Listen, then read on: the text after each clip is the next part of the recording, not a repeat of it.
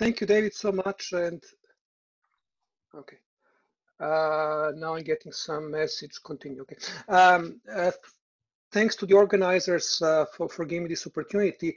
You know, normally if I have an audience uh, this large, uh, I'm talking about uh, Gaussian elimination or diagonalizing Hermitian matrices, which is great, of course, uh, but, but it is uh, really good to, to be talking about non-trivial mathematics to, to such a large audience. Now, I guess by now you've probably seen my uh, Douglas Adams uh, quotation. And if you recognize it, you know that it, has the second part as well. Uh, so here is uh, the second part. So uh, I, you know, my, my guess is uh, that Adams was talking about Heisenberg's uncertainty principle and Gödel's theorem and things like that. That, you know, no matter what we do, no matter how much we think we are in control, there is always something else um, uh, something that is unimaginably more complicated uh, than, than we thought uh, before. And now, uh, the main point of my talk is not uh, that uh, everybody should be learning set theory by no means, but it is just that everybody should be aware of set theory and aware of the fact that, that you know that that impossible point you're working on, that maybe it is indeed impossible. That maybe there are concrete mathematical reasons why a given problem cannot be solved uh, by using the rules uh, that we have uh, set out uh, to solve it. Now, uh, for most mathematicians, uh, even those who don't care and they shouldn't care normally about set theory, uh, rules are basically ZFC. So there is a set of very simple, very natural axioms plus axiom of choice uh, that we use all the time to solve problems. Well, some problems uh, just happen to be not solvable uh, by using uh, those rules. And uh, let's move on. So I'm assuming that everybody here knows what C-star algebra is. Um, and unfortunately, for some technical reasons I don't understand, I cannot write on my slides. So, so uh, my slides were actually meant to be written on, uh, which means uh, that, that, uh, there is going to be a dimension of my talk uh, missing. Uh, but, but, I'll try to say whatever. Um, whatever is missing from the pictures. So if you have a C-star algebra, then you know, we have uh, representations of those C-star just on one side and the states, uh, which are just uh, positive functionals, on norm one on the other side.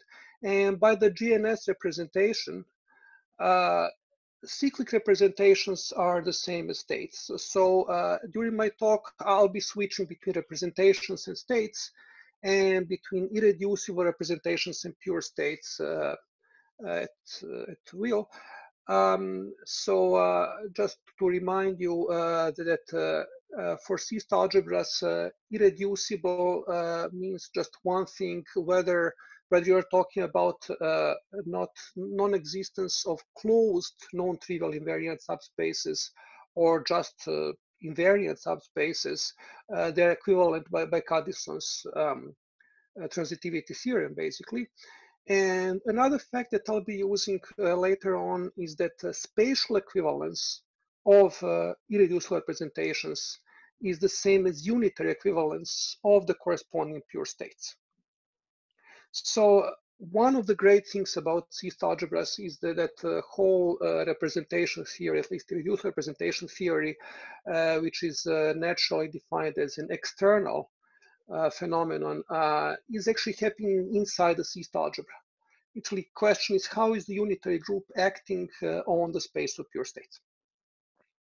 Okay, so I move to one of the you know, theorem that was proved uh, less than 20 years after uh, the Gelfand-Naimark uh, theorem um, by, by Glimm, um, which basically resolved to large extent uh, the theory of irreducible representations of separable C-star algebras. Um, so uh, if you have a simple and separable C-star algebra, uh, then uh, we have these six equivalent conditions. First one is that uh, A is not of type 1, which is in this case uh, just the same as saying that, that A is not the algebra of compact operators, so some Hilbert space. Second, uh, it has continuum many unitarily equivalent irreducible representations. Uh, then next, it has at least two uh, and, and, so on. I'm not going to be talking much about the other uh, equivalences in, in, this talk, uh, but uh, this uh, Glimm's dichotomy or later Glimm-Effros dichotomy actually influenced set theory quite a bit. So, so ever since 1990, this was a very important driving force in theory of abstract um, uh, classification, but uh, that's a different talk. So I'll stick to this. So you see, uh, Glimm's theorem uh, was proved uh, for separable C-star algebras. And uh, question, of obvious question was how much can be said about non-separable C-star algebras. Now, the main implication in Glimm's theorem really is from one to four knowing that your algebra is not of type 1, uh, getting this uh, copy of CAR algebra hidden somewhere as, as a quotient of one of its separable subalgebras. And the other implications are, well, more or less uh, consequences of uh, that and separability of A. Now, um, uh, this was extended to non-separable or I should say, not necessarily separable C-star algebras uh, by um, Sakai and others, primarily Sakai, I believe he did uh, uh, the deepest uh, work on, on, the extension, extending of uh, theorem.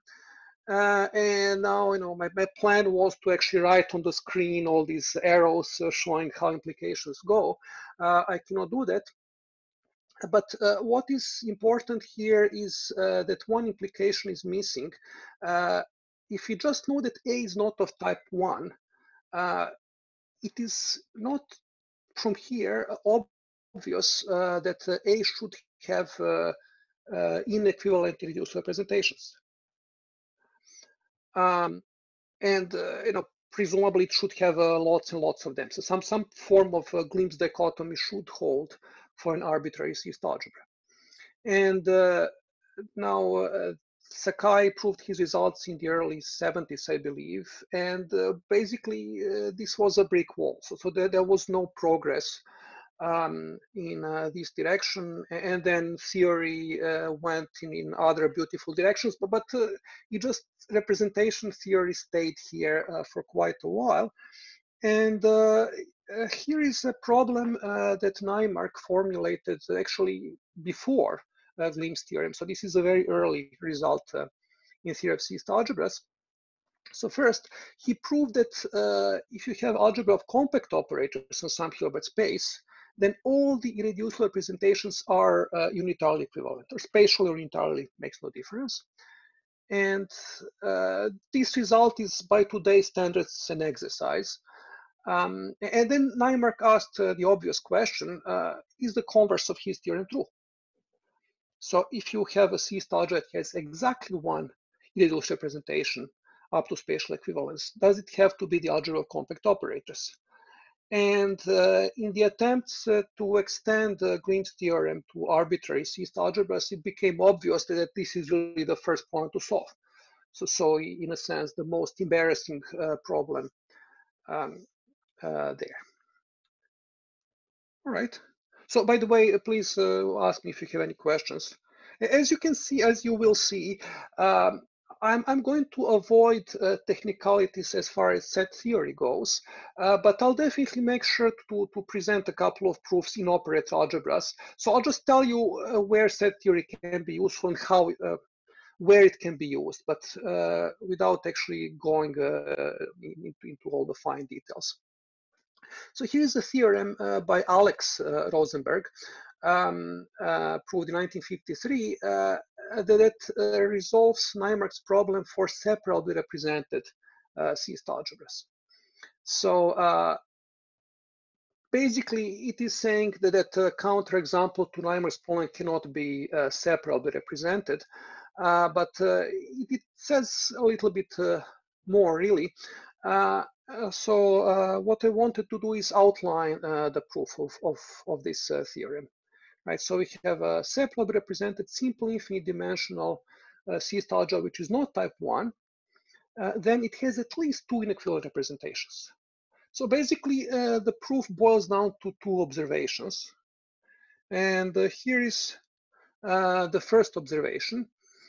uh, if uh, A has unique irreducible representation, then every pure state of our algebra is implemented by a vector. In other words, for normal operator in A, uh, pure point spectrum and spectrum coincide, right? Which normally doesn't happen, right? But, but these are uh, interesting algebras. Think of compact operators, right? That's exactly what happens in case of compacts. Uh, but for A, this is uh, going to happen.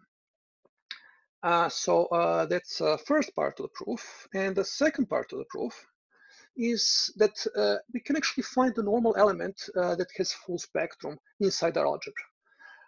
Uh, this can be proved in many different ways. I mean, you can prove it using Glimm's theorem, uh, but but easy way to prove it is just to, to fix a maximal abelian C-star subalgebra D of A.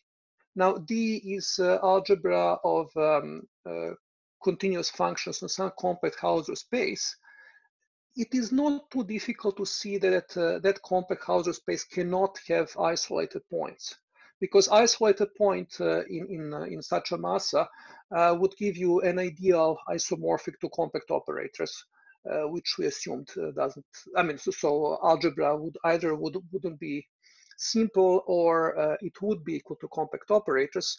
And now the moment you have that, you can find a normal operator with, with the, the spectrum. And now what does that mean? Well, for this normal operator, uh, for each point in its spectrum, there is a pure state that sends that operator to that point. So we have continue many uh, pure states. And uh, as I said from the previous slide, uh, each one of those uh, pure states corresponds to, to a different eigenvalue for our vector. So, so what you really have is uh, continue many orthogonal eigenvectors for our operator. And you cannot squeeze them into a separable Hilbert space. So actually theorem shows a bit more, uh, not only uh, that, that, it cannot be separately represented, uh, but uh, it cannot be represented on a, on a Hilbert space of uh, density character less than continuum. But, but it gives us only two inequivalent reduced representations not more than two. If you think about it, you'll see that, that uh, you know, that doesn't seem to go further than that. Okay, so back to Naimark's problem. So here is a beautiful theorem. Um, so I'm giving, uh, you know, several uh, sets of co-authors here uh, credit. Uh, it was formulated Akemann and Weaver, but really Kishimoto, Ozawa, and Sakai proved the, the, most important um, bit of the theorem. And here it is. Uh, if A is a simple separable C-star algebra, and if phi and psi are two uh, pure states on A, then we can find an extension B of A, uh, which has two important properties. First, uh, each one of our pure states has a unique pure state extension to B. And second, those extensions are equivalent. Now, uh, the way that uh, this is proved uh, is uh, by finding an automorphism uh, of A, uh, which acts on the pure state space in exactly the right way. So it, it conjugates phi to psi, and also has some additional properties that, that assure that phi and psi have unique pure state extensions. and then B is just the cross product. Um, my, my statement here is not doing justice to this. One can actually handle arbitrary countable set of pure states. So, so it's possible to soup this up to, to arbitrary countable uh, set, uh, but not more than that. Uh, you know, proof of this is uh, really a very, very intricate um, uh, approximate intertwining argument. And as we know, if you have approximate intertwining, it happens in countably many stages. At every stage, you do finitely many things. So, so at the end of the day, you just can take care of countably many things. Um, I'll come back to that point later on. Okay, so right, so so here are the hints uh, uh, for for the theorem. I said it. Now uh, back uh, to Naimark's problem. Once you see this, uh, there is an obvious plan on uh, how to give a negative answer to Naimark's problem.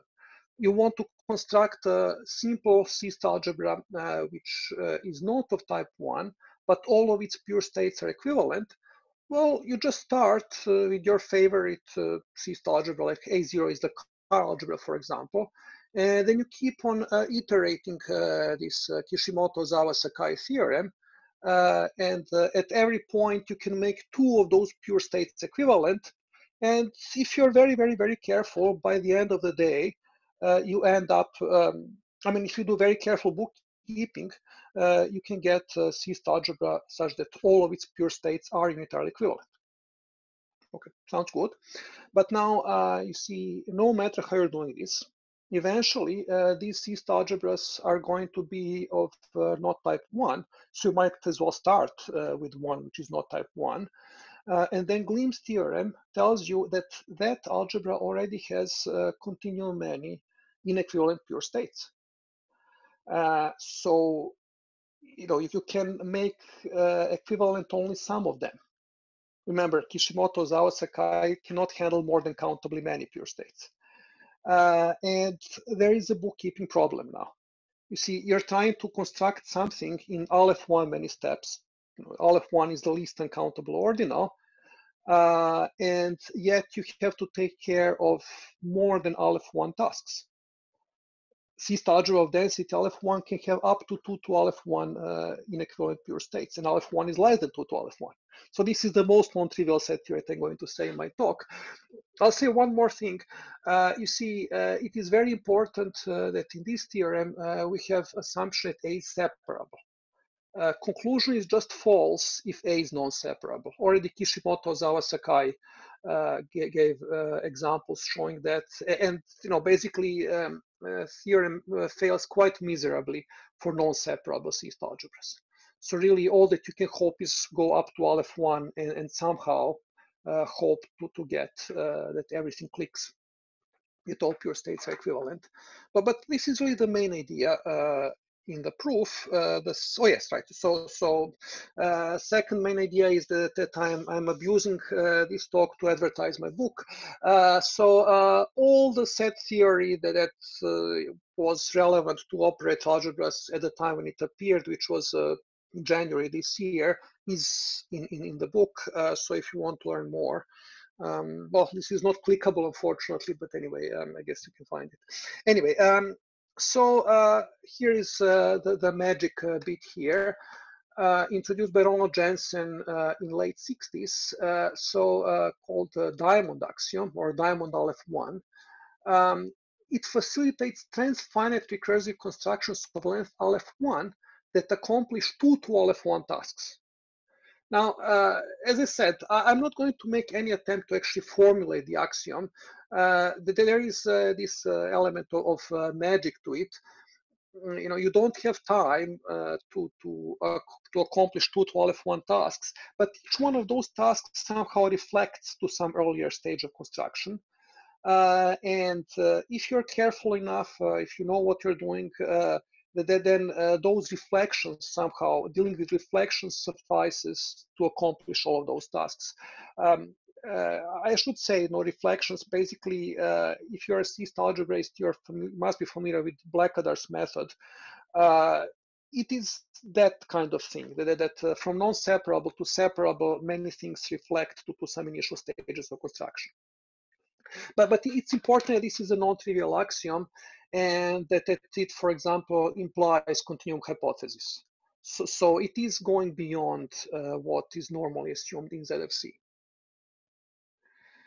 And now, given all that, uh, Akemann and Weaver proved that indeed uh, Jensen's diamond implies that uh, there is a non-type 1 C-star algebra with a single representation up to unitary equivalence. And the proof well, modulo these two big black boxes, you can see what the proof is. So, so by iterating Kishimoto, Ozawa, Sakai cross-product construction, taking ductile limits at the limits, and uh, in a very clever way coding all the pure states using Jensen's diamond, uh, you can get a counterexample.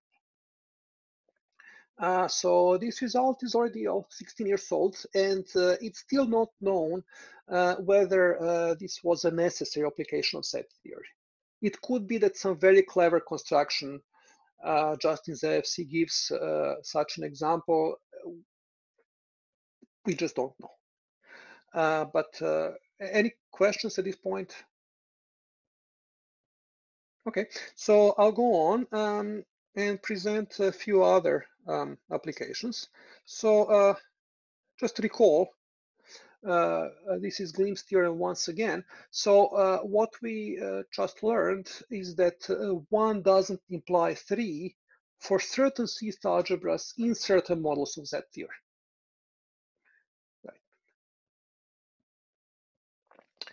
Uh, okay, so here is something that Ilan Hirshberg and I proved a couple of years ago basically by, by modifying um, Weaver construction and swooping up uh, Kishimoto Ozawa Sakai construction a little bit, uh, as I said, we can handle arbitrary countable set of pure states, and uh, you can do what you want with them. And, once you realize that it, it's, it's reasonably easy uh, to see that, that actually Glimm's dichotomy can fail as well. Uh, that, that, from diamond you can construct a simple C star which has exactly 15 uh, equivalence classes of uh, use representations. Um, but, but there is more, so uh, I apologize for the next slide. It is uh, long, okay, it looks at first as a laundry list, uh, so just bear with me uh, and uh, here. Wait, wise? Ah, okay. Uh, so uh, here are other examples of uh, non-separable C-star algebras. And uh, each one of these phenomena uh, listed here is something that uh, just doesn't happen for separable C-star algebras. Right, so they're all examples of phenomena uh, that can happen uh, in non-separable world uh, that, that don't happen with separable C-star algebras. So, actually, the first one is the main result nuance in my paper. simple nuclear, even AF C-star algebra, which is not isomorphic to its opposite algebra and uh, it has no outer automorphisms. Um, uh, then Andrea Vaccaro proved uh, that, that uh, to all of those examples uh, mentioned before, you can actually add uh, arbitrary prescribed separable tracial simplex. Um, and again, Ilan and I actually managed to, to construct a hyperfinite 2-1 factor, which is not isomorphic to its opposite. it's, it's, it's, it's pre-dual has density Aleph1 it has trivial fundamental group and no outer automorphisms. Now, now this is curious because uh, its ultra power uh, has a full fundamental group. So, so this is the first example of 2-1 factor such that the fundamental group of its ultra power is not just the closure of its own fun fundamental group. Uh, and then uh, Yuhei Suzuki constructed tensorially prime simple AF algebra so it's not Z absorbing in particular. Uh, um, and, uh, and okay, more examples. So uh, Nick Weaver, I should say prime, but not primitive C-star algebra. Now, uh, I gave this as a list, but, but actually uh, these examples are different. Uh, you see, the first three were proved using Jensen's diamond, and the last three are just proved in ZFC. So and we don't know whether diamond is is necessary. Uh, so uh, i don't have anything else to say uh, about uh, these examples. So uh, i'm basically ending the first part of my talk which was about uh, constructing interesting examples of these algebras using diamond. Let me know if there are any questions so if not, I'll just move to the second part. Oh no, sorry, sorry, sorry, sorry, I forgot.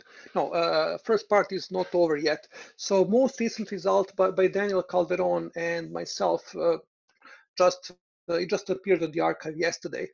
Um, uh, so here is, oops, okay. So uh, this is where it would be good to, to, to be able to edit the slides. So A is not, uh, A on this slide is not the CAR algebra, it's uh, in the lemma.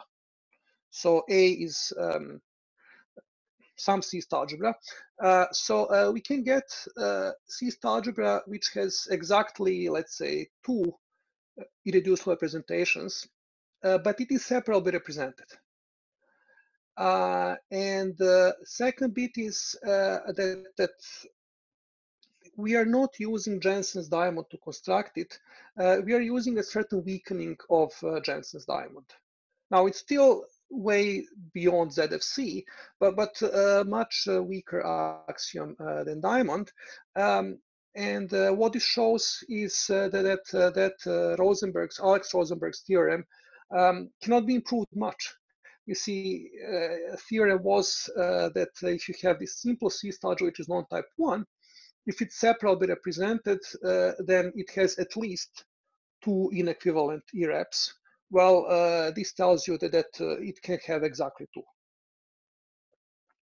Uh, the other one is going to be a non-separable Hilbert space necessarily. We actually can, can do more. You know, can have something that has exactly 15 irreps. Uh, three of them are on separable spaces, and 12 are on, on non-separable.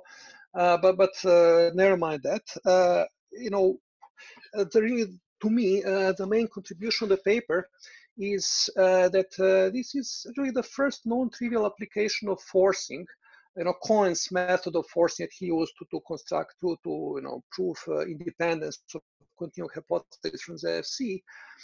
Uh, first application of forcing directly to operator algebras.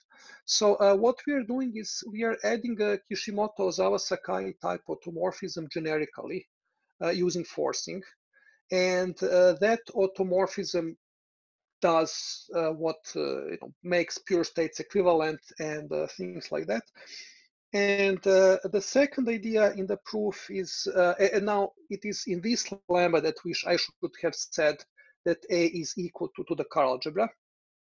So I just missed the environment, um, which must have been known, but uh, Daniel and I had to, to reinvent it. So if anybody has a reference, I would appreciate it. Uh, we have an automorphism of the CAR algebra uh, that is uh, involution and there is a pure state which is sent to itself by our by our automorphism. If you take cross product, uh, then uh, this pure state has exactly two pure state extensions. Uh, they're called C plus one and C minus one. I'll leave it to you to guess why why they're called like that. So uh, where do numbers um, plus and minus one appear? But uh, most importantly for us, uh, if you construct, if you know to the GNS representations, uh, the GNS Hilbert space for the cross product is exactly the same as uh, GNS uh, Hilbert space for the original.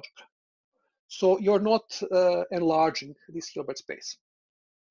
And we can add uh, more properties. We can have the with any prescribed action on any finite set of pure states so that we can assure that, that different pure states have unique extensions that we can make some of them equivalent. Uh, and uh, last one, most important to me, uh, is that uh, every pure state of A that phi is generic over has a unique pure state extension to B. So, so this is what I uh, referred to before, that uh, phi is added by forcing. Now, if you have Star in some model of set theory, it has some pure states, that then uh, forcing is, in a sense, uh, taking extension of a field. You're adding a new element, which is this automorphism. And uh, the cross product has the property that all the old pure states are going to have unique pure state extensions, but you're going to inevitably add more uh, every time you add such an automorphism. So there is still a problem of, of catching the tail. Um. So that ends the first part of the talk. And uh, to recap it, uh, the regularization principles such as diamond or continuum hypothesis can be used to construct interesting examples of operator algebras. Now, uh, one can object to this uh, that, that uh, you're never going to meet those uh, C-star algebras anywhere, that they are just constructed as counterexamples to some problems. So uh, can set theory tell us anything about operator algebras that you already know, that we actually use? And uh, the answer is yes. So uh, here is a question of uh, Brown, Douglas, and Fillmore. So uh, right, BDF theory was one of the more important and uh, I'm not going to go into, what they did, uh, just what they didn't do. So, uh, in many ways, uh, the most obvious open problem that, that left open after the development of, of uh, BDF theory was, can you tell if you look at the of bounded linear operators on Hilbert space model unitary, its Fredholm index is one. Look at uh, the image of, of, its adjoint. Can you tell, somehow tell them apart? You see, all, all the information given by BDF theory, everything that we know, uh, just uh, can tell you what is the absolute value uh, of Fredholm index of an operator, but, but it cannot tell you its sign. And in a sense, it's really what they were asking. Can, can, can, you somehow see the sign? Or I state it in terms of K1, right? So K1 uh, of the algebra Z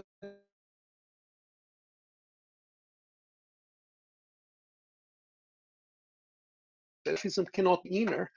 Uh, so uh, second question that they asked was, uh, does Calkin algebra have, have an outer automorphism at all? And uh, first, uh, Phillips and Weaver proved uh, that uh, assuming continuum hypothesis, uh, the Calkin algebra has two to, two to Aleph 1 automorphisms. Uh, and most of those automorphisms are necessarily outer. So, so it has plenty of, it has huge automorphism group. and a few years later, I proved the axioms imply the opposite, and specialisms are inner. Now, uh, you may know what is continuum hypothesis. You probably haven't heard of forcing axioms. I'm going to say more about it. But, but uh, this is uh, an of uh, natural question about C-star algebras, uh, which happens to be independent from ZFC. I should say a few words about the first real question, right? So this was really a test question. Uh, we don't know uh, whether uh, in some model of set theory there can be a K1 reversing automorphism. Uh, what we know uh, by my result is that in some models, set, models of set theory there, there isn't one. Right? If all automorphisms are inner, then there are no K-theory reversing automorphisms. And uh, also from some meta mathematical considerations, uh, it is really continuum hypothesis. Basically, uh, to me at least, uh, there is no set theory left in, in, what remains of this question. It's really now just uh, C-star algebras and, and uh, model theory and just using continuum hypothesis somehow to diagonalize. So it's back to diagonalization again. So I move to next slide. So uh, what are the assumptions? Now I apologize uh, for the footnote. Uh, uh, anyway, so it's going to make sense in a moment. Um, okay, so what is continuum hypothesis? Now, now you may you know the way that uh, Cantor stated it is uh, that that continuum has the least uncountable cardinality, but but for our purposes, really equivalent formulation is that every corona and every alpha power of separable C-star algebra uh, can be written as the union of an increasing chain of separable C-star algebras. So, so, this is operator algebra version of continuum hypothesis, uh, and uh, what uh, that that uh, gives us is uh, that recursive constructions, transfinite recursive constructions, in which you can handle countably many tasks at a time, can actually work to, to construct interesting objects uh, related to coronas and ultra powers. Um, I should say uh, that, that uh, I'm not giving uh, justice to, to the Phillips Weaver construction by, by saying this. Uh, their proof is actually probably the most complicated continuum hypothesis proof that I'm aware of. Uh, because uh, even this formulation that they actually have to construct uh, many chains of separable C-star algebras simultaneously, and uh, the way they are doing it is uh, they are actually finding that their automorphisms are all implemented by unitaries. And every uh, automorphism of Calkin algebra that, that we know of uh, presently uh, is locally trivial. So if, if, you take any separable subset of the Calkin algebra, there is a unitary somewhere outside of that set which actually implements the automorphism. So, so you just construct automorphisms by, by induction, somehow diagonalizing overall unitaries, uh, but uh, they have to use very subtle KK theoretic machinery to, to make sure that at, at limit stages construction doesn't break down. I, I cannot say anything more about that. So um, uh, in the other direction, forcing axioms, uh, well, I can just wave my hands to say roughly what they are. Uh, you have a class of compact Hausdorff spaces that has to be very carefully chosen. Uh, and you postulate that for every single space in your class, uh, Baire category theorem on steroids works. Namely, you have a collection of Aleph 1 dense open sets. If you intersect them, what you get is dense. Remember, Aleph 1 is the least uncountable cardinal. Uh, so uh, this is just plain false for certain compact Hausdorff spaces. And uh, by, by incredible work of Foreman, Magidor, and Shelah, um, we know exactly what is the largest class K for which uh, this makes sense. And I should say that, that uh, recently uh, that there, were, there was a competing uh, theory of Hugh Woodin PMAX models, so, so that there were really two apparently incompatible negations of continuum hypothesis, if you will, uh, recently by, by, by wonderful uh, uh, results of Aspero and Schindler, they were unified. So basically, now when we say forcing axioms, we know exactly what we mean. There is one model, one axiom really. Uh, I should say one more thing. You know, continuum hypothesis is a very strong axiom, which means that its negation is uh, very weak. So you have to strengthen its negation in a highly non-trivial way, and that's exactly what this is telling you. So it tells you not just uh, that, that no matter how you line up Aleph 1 real numbers, there are more of them. It tells you that, that, uh, that they are also generic uh, in, in some uh, very subtle ways. Unfortunately, I cannot say anything else about uh, the proof of my theorem, uh, except that it's very long. Um, so uh, it's really one has to do all sorts of things, including uh,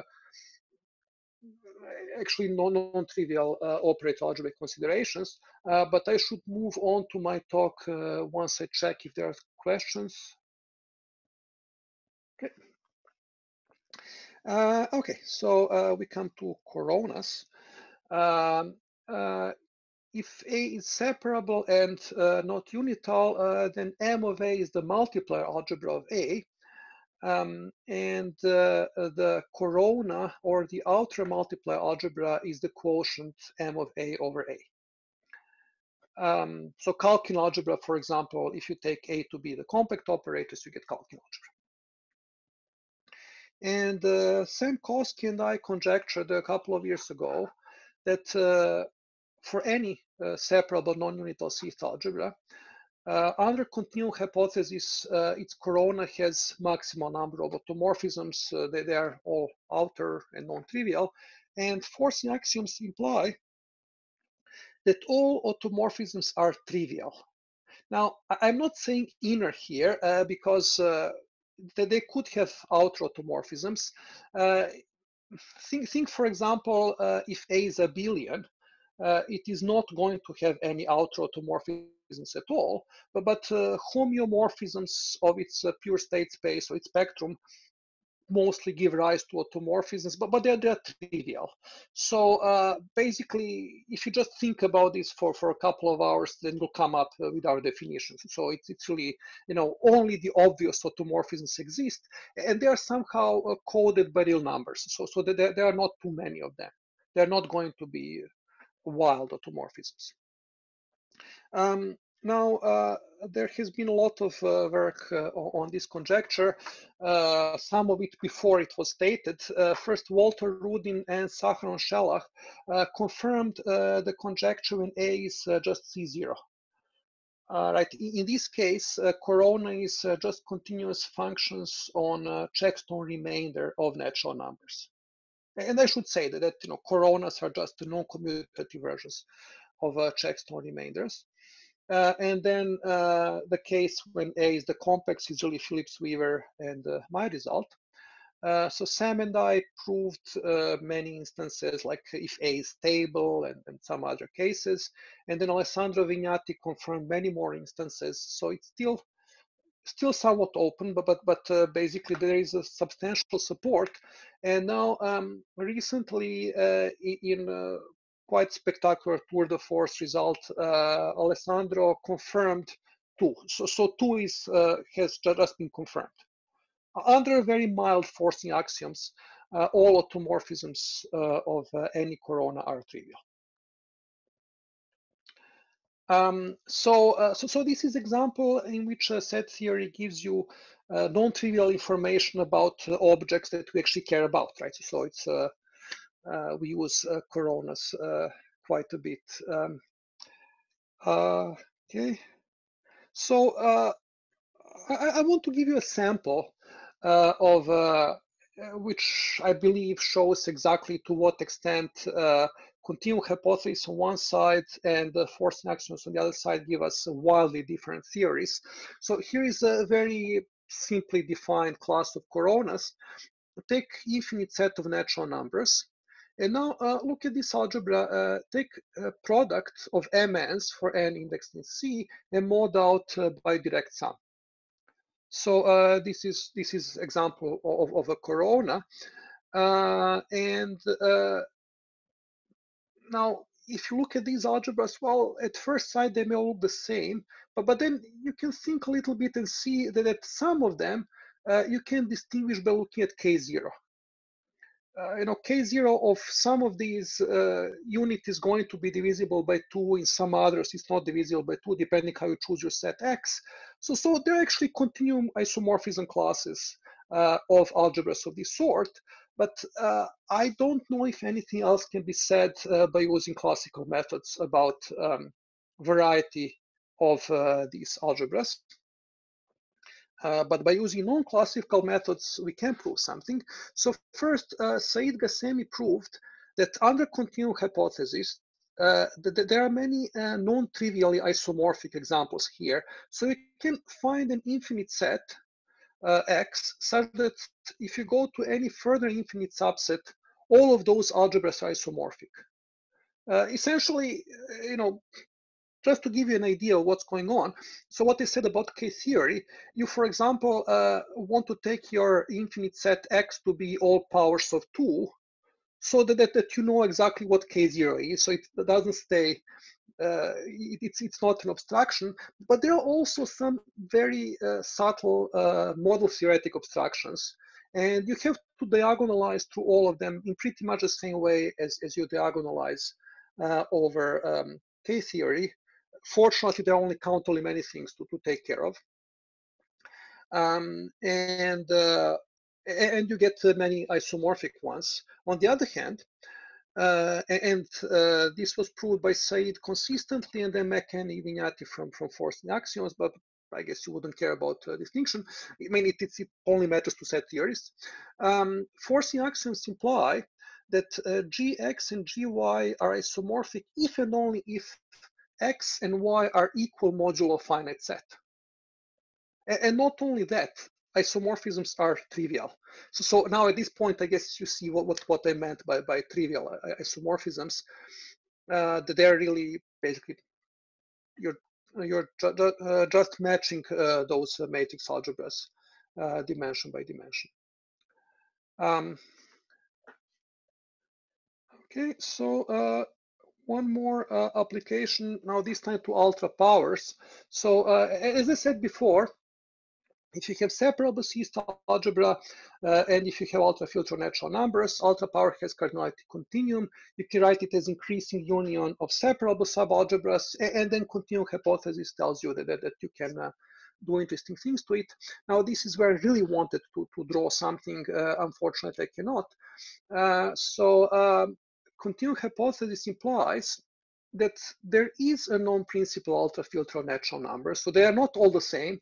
They are quite different ultra filters of natural numbers, uh, such that for any separable C-star algebra B, uh, the quotient map uh, from the asymptotic sequence algebra of B to the, oh, uh, AU should be BU, sorry, uh, to the ultra power has a right inverse or in other words, uh, the, the exact sequence splits. This has a non-trivial bearing to uh, to some methods used in Elliott classification.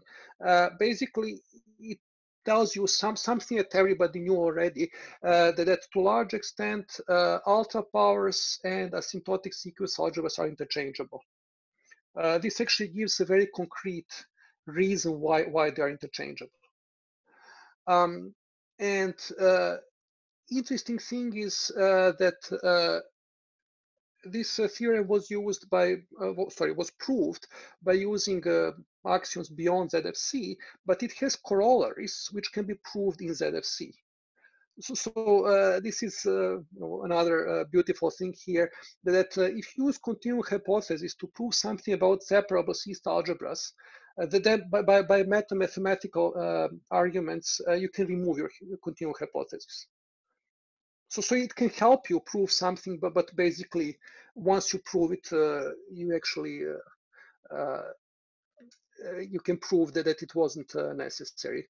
Um, so this was application to ultra powers, and right. So now, in some models of ZFC, the conclusion is false for all ultra filters.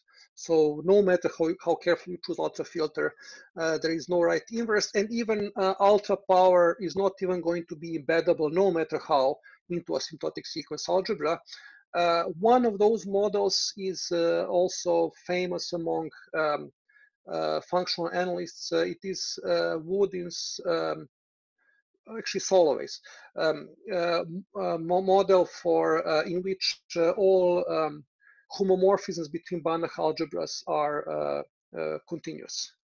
So, so this is a theorem of Woodin, but Solovay also had a model for that, and in his model, um, uh, these algebras uh, just don't embed.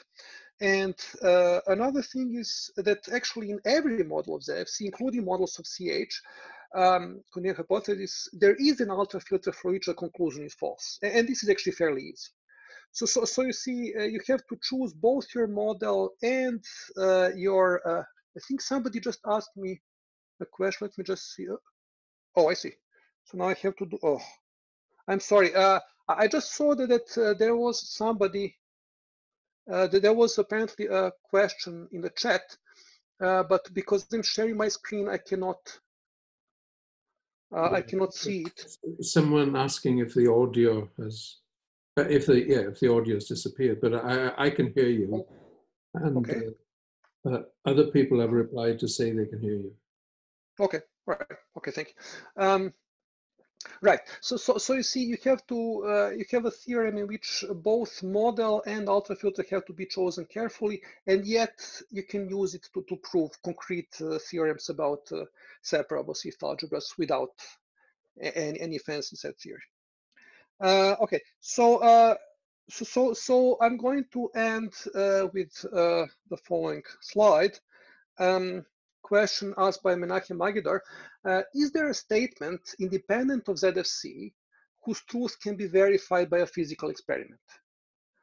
Uh, now, this may sound crazy, but, but, all sorts of things that happened to be true sounded crazy at the time. Um, no such statement is known presently. Uh, Itamar Pitovsky uh, actually applied set theory to, to, to find some partial explanation for EPR paradox, which which is not the explanation, but but but uh, you know I just wanted to end with this because uh, you know who knows, uh, world is is uh, weirder than we think, so so so uh, maybe this is possible. Uh, thank you for attention. That's all I want to say.